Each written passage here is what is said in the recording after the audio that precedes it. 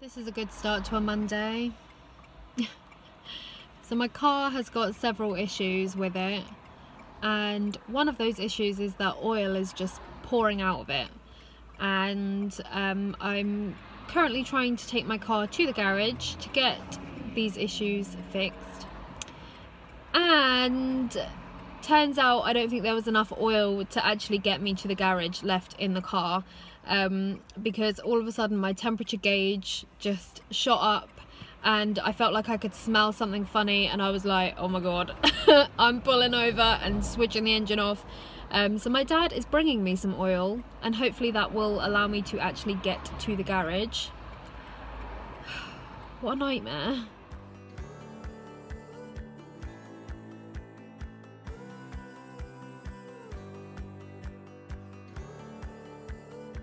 Hi everyone, I am absolutely sure that you are sick of seeing me in this spot in my living room looking like this with this same hairstyle with my hair all scraped back and bleh but I'm just so tired all the time. I'm off out to the hospital. Um, it's Wednesday. I can't remember if I mentioned that. It's Wednesday. I haven't filmed since Monday my car went into the garage. I think I filmed a bit of that in the morning when I was like basically broken down on the side of the road.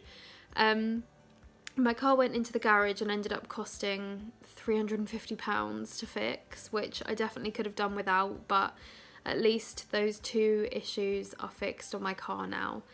Um, yeah, so that was Monday, and I spent the day with my mum while I was waiting for my car to be fixed. And then on Tuesday, uh, yesterday, I just spent the whole morning working on my essay, one of my two essays.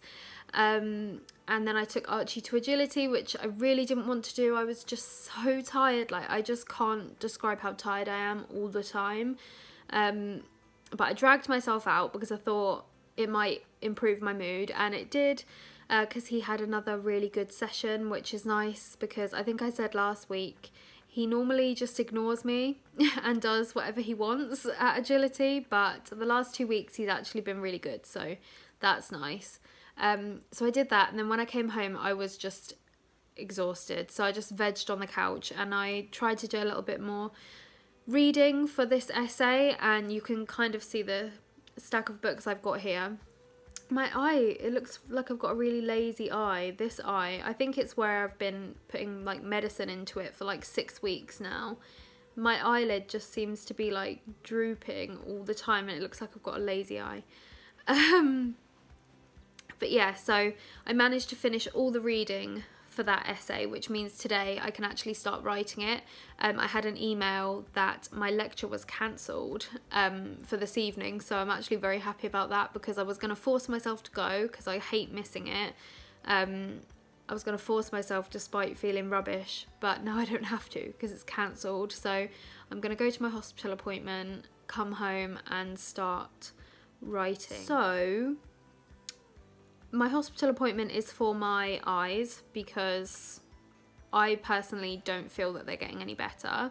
I can't remember if I've actually like spoken about it in detail, but basically um, some of some of it ha has definitely improved. But when I'm not wearing my glasses, if I shut my left eye, my right eye is so blurry I can barely see a thing. And if it's more than about three meters away, it's completely blurry, which it wasn't, you know, it wasn't that way before. Nothing feels right. Um, and my depth perception is all off, my spatial awareness is all off because my right eye is completely different to my left eye.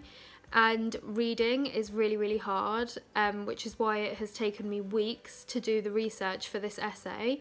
Um, because whenever I try to read, the words are all just sort of like swimming on the page and if I try to look at my phone um, I normally have to shut my right eye and just use my left eye um, but obviously I can't really do that for hours on end when I'm trying to do some research.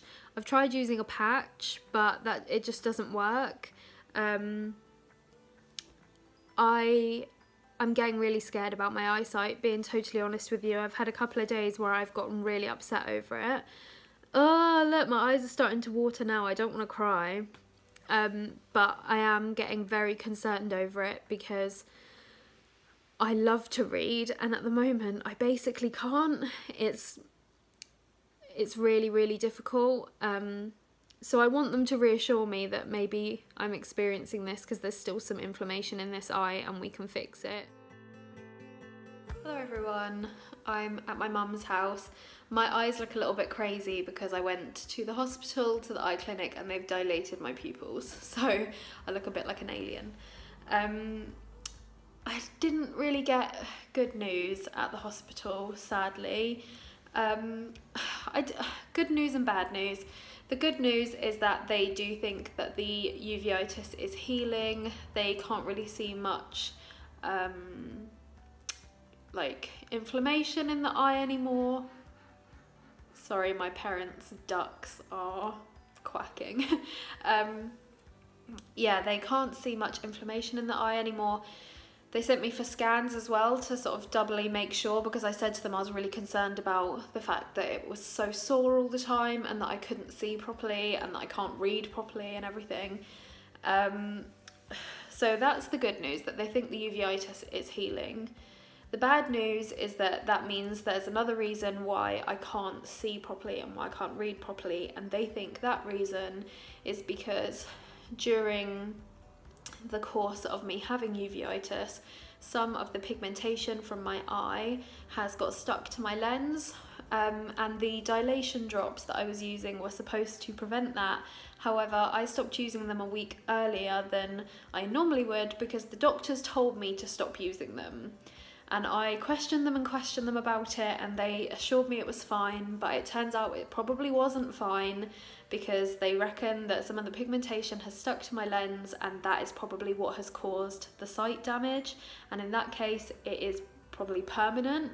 Um, so I've had a bit of a cry to my mum because my sight right now is really bad.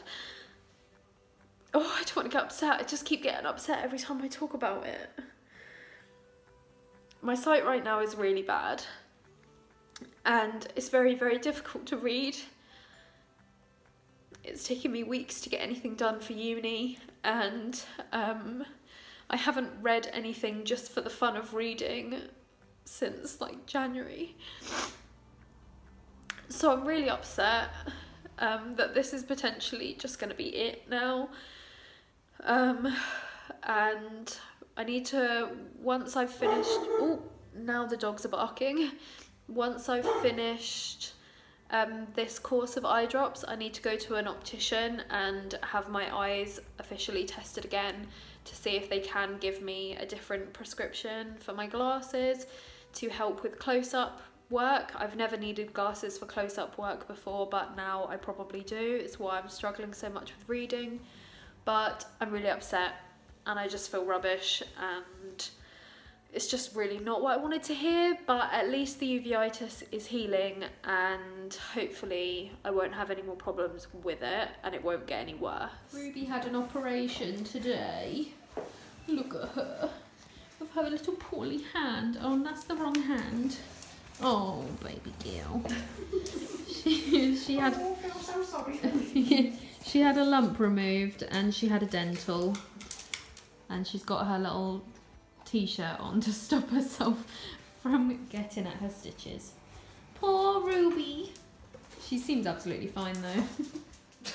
Hi guys, I have quickly shoved on the clothes that I had on yesterday because I really need some paper for my printer and I need to go out to Sainsbury's and see if they have any paper there but it's not a very big Sainsbury's so I'm not hopeful um, but they do have an Argos in there and I used to work at Argos and I have a feeling that they sell printer paper.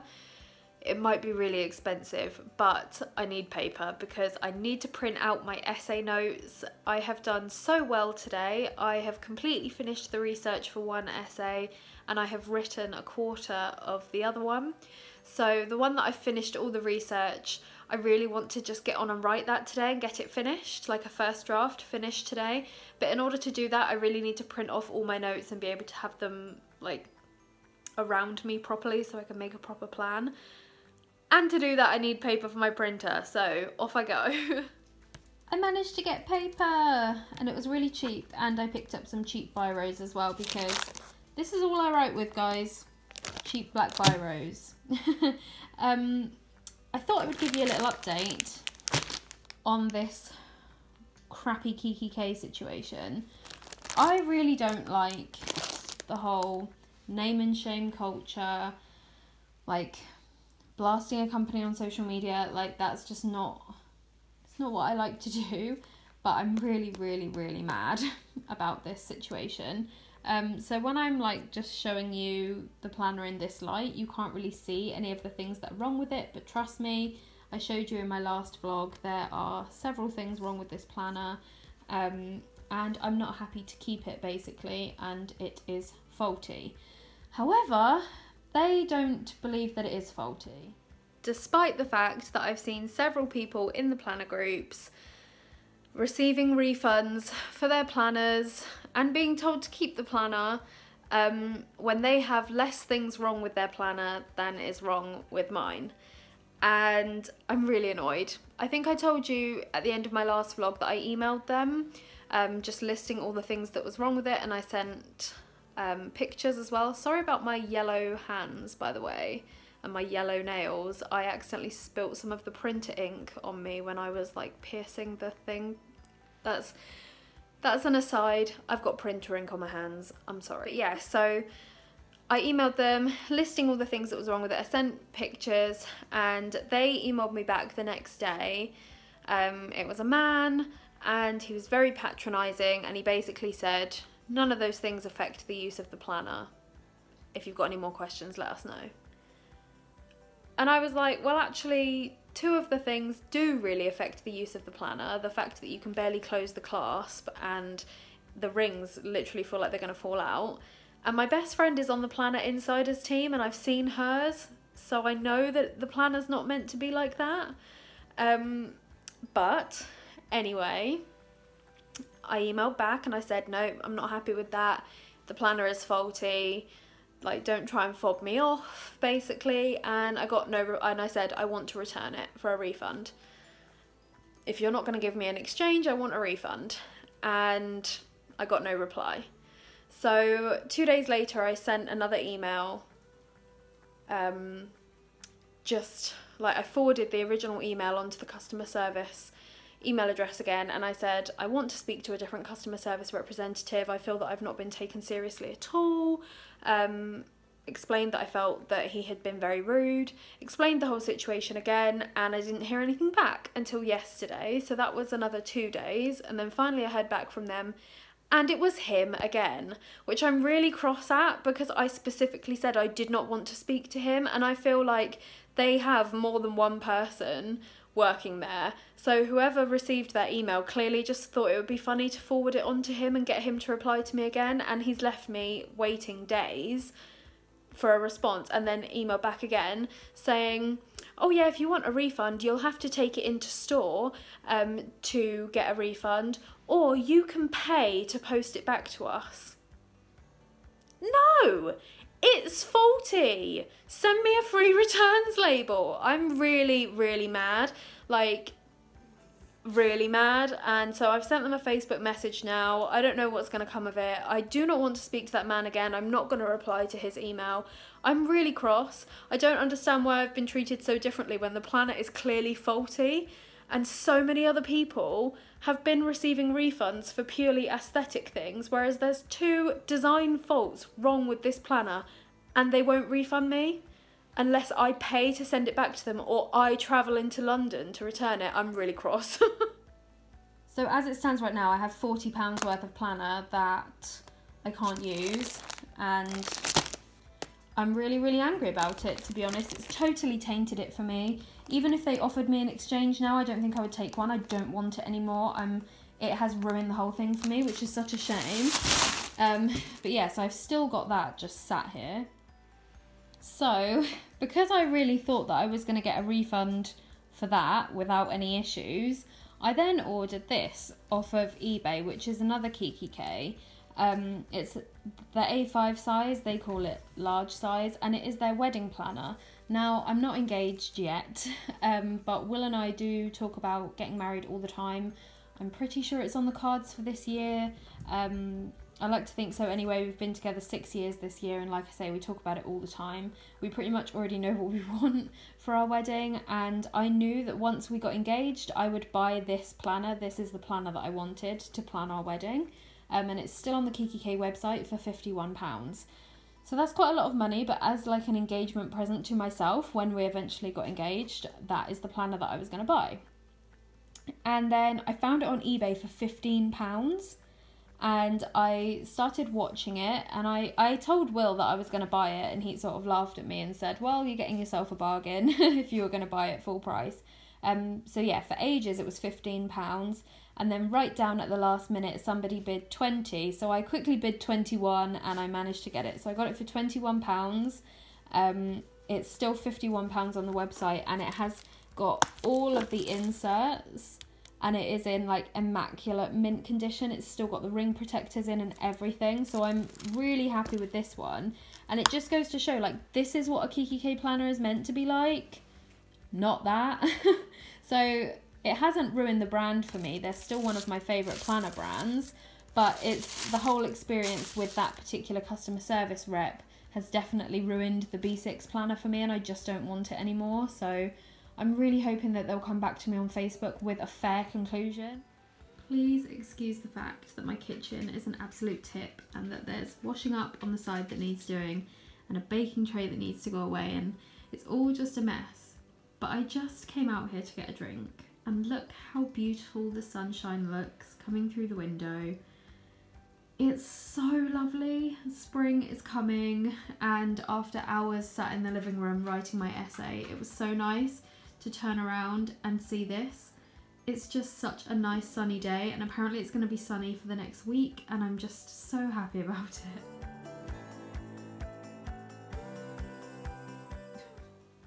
When you just can't be bothered. what is this? Little leg up in the air. And why does his face look so scared? What's up, little nugget? excuse all of the mess. I'm having another essay writing day today. It is 25 past 11. I've already written another 800 words. Oh, yawning. I've already written another 800 words, um, which means I have about 1200 words to go until this essay is finished. And then I can print off this first draft of it, um, edit it, and hopefully hopefully get it all finished so that I can actually submit it today because I would really like to have one of them just out of my hair. However, I am meeting some of my friends for dinner at half past five because I haven't seen any of them in ages and my best friend is visiting from Poole um, and I haven't seen her in so long. So I'm meeting them for dinner at half five. It's just coming up to half eleven, and I still need to have a shower and wash my hair and do something with my hair. Um, and for me, that takes a good couple of hours. So I really do need to crack on with this now and, and get as much of it done as possible because I really want to finish it today. Hello, everyone. Just your daily dose of reality with Chloe today. This is the state of me currently. Um, I was in hospital yesterday and my health has definitely taken a bit of a nosedive again over the last couple of days and my pain levels have been really bad and I'm just feeling really really grotty so sorry about this but um, I just wanted to update you because I can't remember the last time I actually filmed but yeah so I finally submitted one of my essays. I was working really hard on that last week and on Saturday I managed to get that submitted finally. Um, I'm not certain that it's going to get any sort of decent grade but as long as I pass I'm happy with that because I just wanted it submitted. Um, the other one is due tomorrow because I had another one as well and I'm trying to work on it today but I'm struggling because a lot of the books that I needed are in my university library and I just haven't been well enough to get to the library to collect the books so there's a lot of stuff like research missing basically and I'm just I don't know. I don't really know where I'm going with it, so that's a bit of a worry. I don't know, like, what I'm doing at all. I had a general anaesthetic yesterday and I had some exploratory procedures done so that my doctor could see exactly where my Crohn's is active in my digestive system at the moment. I won't bore you with all the gory details, but um, the preparation before was pretty awful. The procedure itself was okay because I was asleep and I got myself into a right state beforehand. But the guy, the anaesthetist who put me to sleep, he was absolutely brilliant. I had to have a cannula in my hand and there is just the tiniest little dot on my hand, not even a bruise or anything. Whereas if you heard me talk about my MRI in my last vlog, I fainted when she did my cannula because she messed it up so badly. So this was a, a very different experience. Um, and falling asleep was actually okay. Like I always get so scared about it beforehand, but actually it was fine. And recovery and everything was fine. I was just very tired yesterday and I'm very tired today. And I feel like my voice feels a little bit croaky and funny. I feel tired and um, they said that might happen because they put like a breathing tube in your throat. So yeah, plus I still have this cold that I've had for like six weeks. So yeah, I'm already ranting. Okay. rambling even going on. Um, the good news is that I don't need any surgery, which I'm so happy about. I mean, to my knowledge, I don't anyway. It's definitely sounded like from what he said, I didn't need any surgery. Um, the bad news is that the ulceration in my digestive system is quite extensive and it is pretty bad, but I already knew that because of how ill I am. Um, but yeah, I'm just relieved that I don't need any surgery. Um, because the ulceration is quite extensive, there's a treatment that they would like me to try, um, which I'm currently researching because I'm not really sure it's the route I want to go down, but I'm definitely going to research it. And um, you have to have testing to make sure you're suitable for that treatment because if you've had exposure to any like certain infections in the past, you're not suitable for the treatment. So while I was in hospital, they thought it would be a good idea for me to have that screening done. So I had to go and have a chest x ray and I had to have blood tests as well. And now I'm just freaked out about the results of those because it's stuff that I've never thought to get screened for before um, because again, touch wood, I've always figured it didn't, it just wasn't applicable to me. But now I'm like, oh my god, what if I do have that? Oh my god, what if I have been exposed to that? And it's just like, I was so relieved when I woke up from the anesthetic and like, I just thought everything's over, it's all done. And then they threw this whole next round of testing on me, and I'm like, now I have to worry about the results of those. So I just want everything to be done and to move on to some treatment now, but I just thought I would update you. Um, and now I need to go back to trying to somehow write this essay.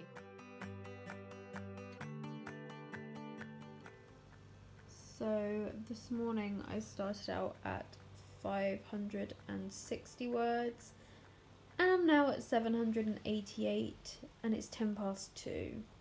So I've really not made much progress at all. I've got some scribbled notes next to me. I really don't know what I'm doing with this essay. I literally have no idea. I've decided I'm probably not going to go to uni tonight because I just feel dreadful. And yeah, I'm feeling quite frustrated to be honest. I've got my little constant companion with me. People probably wonder where on earth Winnie is, but she's just always in her bed. Like, that is her favourite spot. She's in there. If I call her, she'll probably pop up. Winnie! Winnie! Winnie! she can't get out. But she's in there. I promise. Right guys, excuse the um, dishwasher in the background, but it's now Thursday morning and I can't remember um, when I last showed you my progress, but I'm now at just over 1500 words and I've got one last section uh, to write and I've made myself a little plan now. I've got my stack of books next to me so that I can pick out a few relevant quotations and I'm nearly done. Um, I made the decision not to go to work today because I woke up in a lot of pain still and I've um, still got a really upset tummy from the bowel preparation that I had to drink um, and that was way back on Monday and it's now Thursday so I wasn't expecting to still have such an upset stomach but I really do and obviously you don't really want to go to work when you're feeling like that do you so um, I, I called in sick and I told them that I would take today and tomorrow off and um, try again on Monday. I really do hate doing that, especially because I've had so much time off already um, since Christmas, but this flare up has been one of the worst I've ever had and if it's taught me anything it's that I have to put myself first. So I'm putting myself first and I'm taking the time off that I need and if I need more time off I'll take that off as well. Because people like hearing about my masters I thought I would show you some of the books that I'm looking at. So my dissertation is on the changing perceptions of Henry VIII's wives throughout popular culture um, in comparison to contemporary representations of them, so portraits, contemporary eyewitness accounts, that sort of thing, in comparison to later popular culture. And I'm looking at all six wives instead of just one of them. Um, and I'm going to be using a form of uh, a series of case studies. So each chapter is going to be a case study, so it might be on um, a selection of novels or plays or films or television adaptations. Um, so I've got a few biographies on just some of the wives here that I want to mention in my research proposal and also I'm going to have to engage with some theoretical works on adapting history for film or adapting history for the historical novel, that sort of thing. Um, I haven't read all of these in full yet, but I would recommend this one, The Six Wives of Henry VIII by Antonia Fraser. Um, I really enjoyed that one and I think she has quite a balanced approach. Retha Warnicke is also really good. And this biography of Catherine of Aragon by Gareth, Garrett Mattingly is um, quite like thorough as well. Um, I haven't read this one yet about Catherine Howard, which is called Young and Damned and Fair, and I can't wait to read that one because I just find Catherine Howard like fascinating. um, but yeah, those are some books I'm looking at this morning determined to get this done in the next few hours and I will speak to you when I do. I finished my essay and I'm still not going to show myself because I really do look awful but I did it three hours before the deadline and I managed to submit it. Please ignore the state of our bathroom. We are getting it done eventually. I know it's disgusting um, and old but it's done. So now I'm having a bath. I've got some um, Planner Dreams bath dust in the water and it's completely dissolved because I didn't put that much in but the bath water smells amazing. And um, yeah I'm just going to enjoy this bath. I'm going to read a book that I actually just want to read for the first time in months. I've got a cup of tea and I'm going to put on some music and I just cannot wait